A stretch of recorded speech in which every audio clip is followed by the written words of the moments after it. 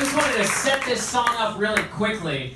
Um, so, uh, where should I begin? I'll start by saying that I've been doing Dear Evan Hansen for about four years now, um, and I did it for like a full year before anyone saw it, and then another year before anyone cared. Um,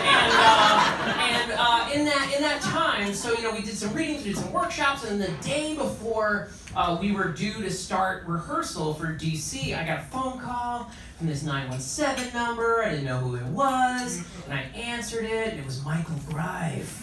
Um, and uh, he's like a famous theater director, for those of you that don't know. Um, and uh, and, I, and like a bunch of my friends had been fired from the show because we used to have this ensemble of like kids at school, and they all got fired. And so Michael Greif, I answer the phone, he goes, well, I said, yeah, Michael, because I have some bad news. And I'm like, fuck!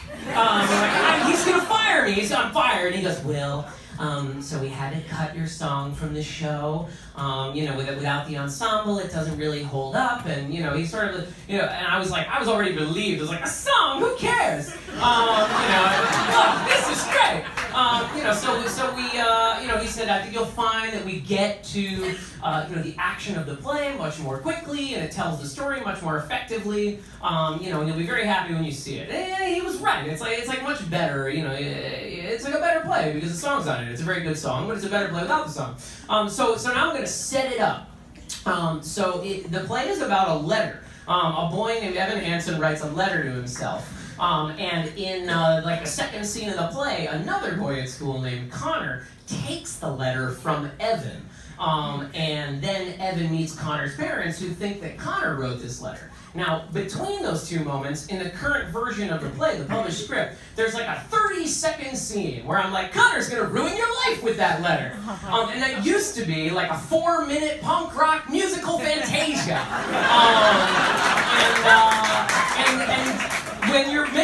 musical and you realize that what you do with a, a four minute punk rock musical Fantasia can be done with a 30 second scene, you do it with a 30 second scene. Um, and not to mention all this stuff that I sing about doesn't happen in the play. It's all like what Jared says is going to happen.